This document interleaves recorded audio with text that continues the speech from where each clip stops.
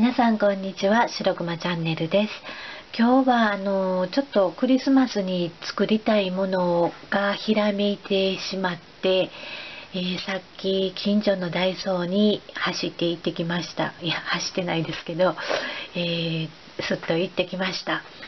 であの特別珍しいもの分かってないんですけれどもあの今回はあの最後にちゃんと商品番号もお知らせしておこうと思います。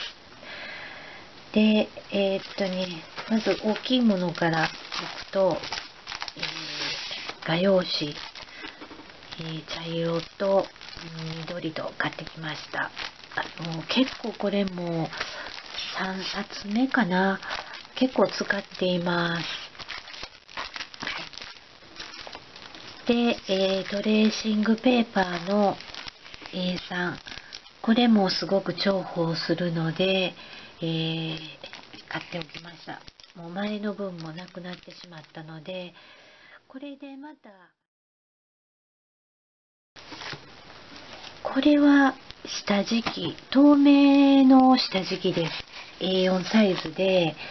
あの何作るかはちょっとまだ決めてないんですけれどもこの間というかだいぶだいぶ前ですがあのー、マステのこれ引き出し作った時にこれはこの窓はプラ板で作ったんですけれども、まあ、これぐらいの小さい窓だったらプラ板でも全然大丈夫なんですけれどもこのプラ板よりもかなりしっかりしてて何かこうショーケースみたいなのを作りたいなと漠然と思っててプラ板にしようかなと思ってたんですけどもこれ見た瞬間あこっちの方がいいなと思ったんでこれで作ってみたいなと思ってます。はい。えーとねこれ B5 サイズも売ってました。あの折り紙はもう買うまいと思いながらまた2つ買ってしまいました。これどっちも、えー、半透明の折り紙です。で、これはね、あの、昨日かおとつい、えー、動画にアップロードしたこの半透明の折り紙の同じシリーズの、えー、ストライプ版です。はい。8色で4枚ずつ入っているそうですね。えー、こんな感じでいろんなカラーが入っています。ちょっと中開けてみようかな。ハサミあるでねあのー、この小袋の時にやっぱり質問コメントがあってえっ、ー、とどういう商品名ですか？とかいうのがあって、私もこの紙とかね、さっさとほかしてしまうんですよね。だから、えっ、ー、と、今日はもうちゃんとこの商品番号も、えっ、ー、と、お知らせしておきたいと思います。ハサミで切ろう。いい。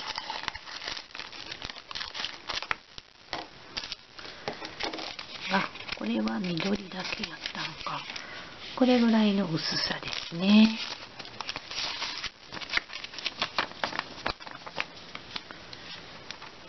これは赤？黄色、まあ、この1枚のと、うん、重ねたら分かれへんな。こんな薄さ？ねこれうん折り紙のもうちょっと A4 サイズぐらい大きいの欲しいですね。あ今思いついたんだけど。これをこうして使うとチェックになるんだ。これで小袋しても面白いかもわからないですね。ほらほら。これで小袋。もしよかったら作ってみてください。えさっき今何話してたんやったっけ？あそうそうそうそう。大きいサイズ欲しいですね。うん、欲しいなこれいいですね。いやよいしょ、誰か、あの、ダイソーにし、えー、知り合いがいてる人はちょっと頼んでみてください。このシリーズ可愛いですもんね。うん。折り紙サイズだったらね、もうほんとちっちゃいものしか作れないですから、うーん、大きいの欲しいな。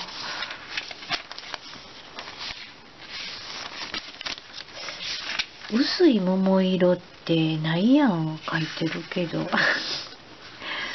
桃色じゃないなこれは。オレンジやんか。やっぱり紫綺麗ですね。かわいいなまた。これと違う色でこんな風にしても可愛いのかな？おいいですね。はい皆さんもよかったら、えー、これ可愛いです。水玉も可愛かったけどうん。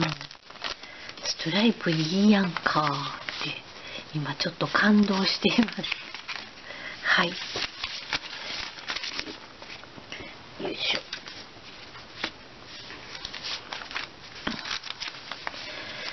でもう一つはねえー、っとね片付けながら喋らながえー、これは透明の折り紙で大きいのが9色 ×3 枚ちっちゃいのが3色 ×1 枚。これのことでしょうね。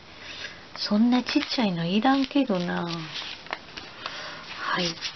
あでも折り紙をする人には入れるのかな？私折り紙もしないんです。なんで買ってんのってことですね。はい。よいしょ。あもうやっぱりおばあちゃんになるとよいしょばっかり言うてますね。もう自分で動画見ててまた言うてるわとか思いながら。すいません。もうおばちゃんはもう常にしんどいのでしょうもないこともよいしょって言ってしまいますはい。次行きます。とこれをハサミでチョキ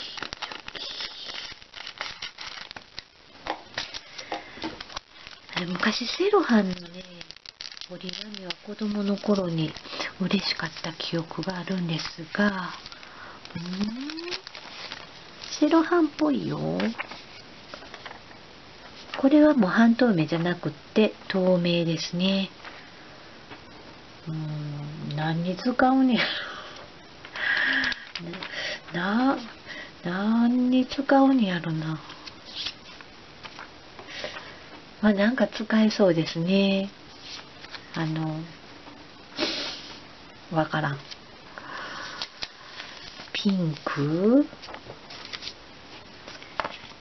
これは厚紙紫？うーん何に使ったらいいんやろこれ。でも使えそう。あ1枚ずついうとこがちょっと残念やな。使うとしたら同じ色を使うのでこれお今折り折り紙やから折れるんでしょうね。そらそうやろな。うん。面白いといえば面白い素材ですね。結構たくさん入ってますよ。あ、そっか、3枚ずつ入ってるから。はいはいはい。こ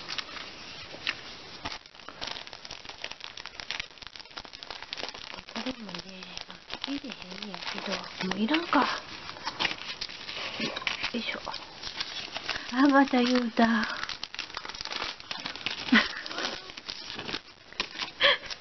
もう動画で言わんとこうって思ったのに。よし、あ、言うた。すいません。で、一番の今日の買い物の目的はこれです。えー、緑のフェルトです。はい。ダイソーはこんなね、ちっちゃいので、えー、5色入ってるんですね。セリアもそうやったかなちょっともう忘れてしまったんですが、記憶力ゼロ。で、えー、まあもうこの色でもうお分かりだと思いますが、これを、ツリーを、ちっちゃいのを作ろうかなと思ってます。大きさもちょうどこれぐらいになりそうかな。で、60分でできるプチ DIY で、えー、作れそうな感じなので、えー、今からでもクリスマスに間に合うと思います。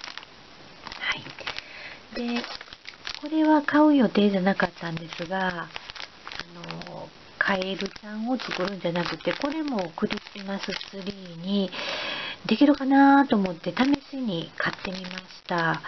これはできるかどうかちょっとわからないです。はい、一応トライしてみたいと思います。と、えー、これが売ってた隣に毛糸が売っていました。こんな可愛いのがね、私はもう編み物できないんですけれども、もうこの、こういうふわふわものに弱くて、あのー、この間のおまけ、雑誌のおまけについてたリュックに、うん、使えるかなとか思って買ったんですが、ちょっと作戦はまだ思い浮かんでないんですが、うーん、頑張って作ってみます。はい。と、よいしょ。これは、あのパンチです。クラフトパンチで、あの、お星様、ツリーのお星様をこれで、えー、切ろうと思って買いました。で、あの、これが最後になるんですけれども、えー、お湯で柔らかくなる粘土、色プラって書いてあります。これね、お湯丸くんのことだと思うんですね。で裏を見ても80度の、えー、お湯につけて、えー、柔らかくして、あとゴニョゴニョっとして自分で好きなのを作ってくださいねっていう説明になってるんですね。で、あのー、どこの動画だったのかはちょっと忘れたんですけれども、あの、おゆまるくんが、あの、販売停止になったっていう風に、えー、嘆いていらっしゃる動画さんがあったので、いや、どうも復活したみたいですよっていうことで、私も使ったことないので、まあ、ちょっと実験的にえー、一つ買ってみました。はい。ということで、買ってきたのはこの11点だけです。で、えっ、ー、と、よくあの質問でね、コメントいただくので、えー、そう、もう、質問いただいて、あの、答えられへんことが結構あって、商品名なんですかとか言われると、え、分かれへん、もう覚えてないとかも、こういうラベルをすぐ捨ててしまうので、えー、今からちょっと、あの、商品番号言っていきますね。えっ、ー、とね、まず、ケイトから、えー、これ商品名は、シスターズファー。えっ、とね、秋色ケイトの S。えナンバー93です。はい次、えー、こちら、カエルちゃんが、えー、あります。これはね、ここから言わなあかんのかな ?C、C の029、手芸素材、ナンバー978。こちらは、えー、手洗い OK フェルト5枚入り。えー、っと、18センチ ×18 センチ、グリーン系。えー、E の088、フエルト、ナンバー223です。はい。えー、次、パンチ、クラフトパンチ、星型。えー、ちっちゃいな、これ。こっちで、こっちは、あ、書いてる書いてる。E の008スクラップブッキングナンバー26です。はい、次、折り紙。えーと、透明折り紙。これは、どこや、書いてないやん。あった。えーと、D の045折り紙ナンバー14です。はい。それから半透明の折り紙は、えー、強紙って書いてます。えー、っとね、ない。ない。ん？あ、ここや。えー、D の045折り紙ナンバー56。D の045っていうのが折り紙っていうことみたいですね。はい。次、お湯丸くんじゃなくて、えー、柔らかくなる粘土、色プラ。これは、書いてないです。あ、これはダイソーの商品じゃないみたいですね。シードって書いてます。株式会社シード。なので、えー、ダイソーの商品番号、品番はちょっと書いてありません。もし欲しい人は、この名称で、色プラで探してみてください。次、えっ、と、下敷き、透明の下敷き A4 サイズ。これは G の073、下敷きナンバー14です。はい、あと、画用紙もナンバーいりますかね。D の98、画用紙 A の7です。で、緑が、えー、同じく D の98画用紙 A の13番。あ、もう一個あった。えー、トレーシングペーパー。これは、うーんと、画材231番としか書いてないですね。はい。ということで、皆さんお買い求めになるときは、この商品番号で、えー、店員さんに出てみてください。はい。では、えー、早ければ、明日、明日無理かな。あの、これ、頑張って作りたいと思います。ということで、今日の動画はここまででおしまいです。えー、ご視聴ありがとうございました。あのー、自分的には折り紙買えへんとか思ってたんですけど、これは買ってちょっと良かったです。あのー、ね、このクロスすると銀紙チェックになるのがとても可愛いですので、え、皆さんもぜひ、えー、可愛いのをまた作ってください。では、えー、また次の動画でお会いしたいと思います。ありがとうございました。さよなら。